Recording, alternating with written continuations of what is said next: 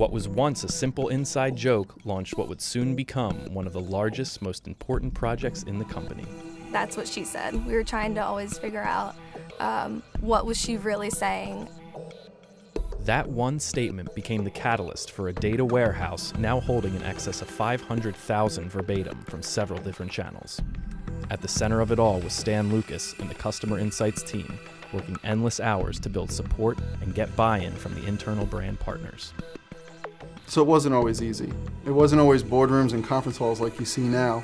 We worked some of the worst, dingiest cubicles, the worst hole in the walls that you could ever see. I remember this one meeting we had where no one even showed up. Only this one person came in, and she was an intern.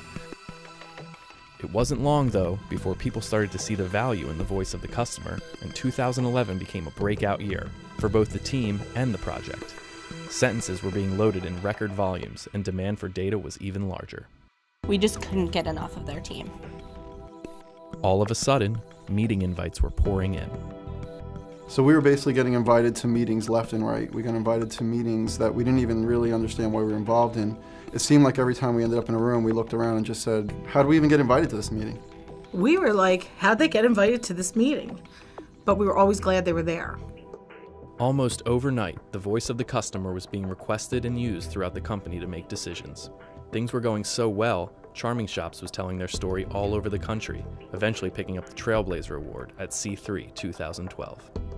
I think it was an award winning success for them. They recognized that tying structured data to the unstructured to do the analysis on customer voice not only showed that the text was valuable, but also showed that they could very clearly map voice the customer, what she said, to the source of things she was rating and reviewing online.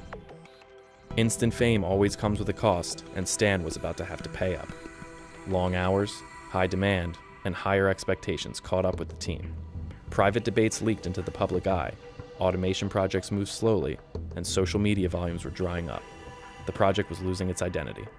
We were getting all different kinds of requests from the brands. Uh, one minute we were getting asked, um, you know, what do the customers think about our bras? The next minute it might be, what, is the, what are their thoughts on gas prices?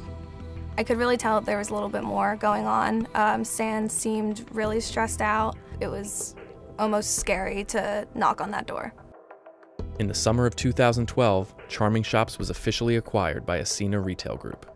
Now, everything was really up for grabs, as parts of the original business were closed and all projects were questioned. Just when it looked like things couldn't get worse, turnover struck. Things weren't things weren't always working out. Seriously, get the hair on my face. I think that finding out one of the people who had been there from the beginning, the fact that she was leaving was going to make it difficult to maintain the workload. But the Insights team fought back and turned challenges into opportunities. They channeled that Philly spirit and refused to go down.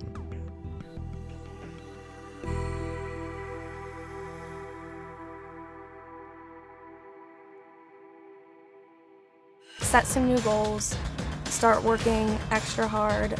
We actually ended up burning out Stan's coffee machine. Now, additional brands are being loaded, reports are being distributed, and automation projects are almost complete.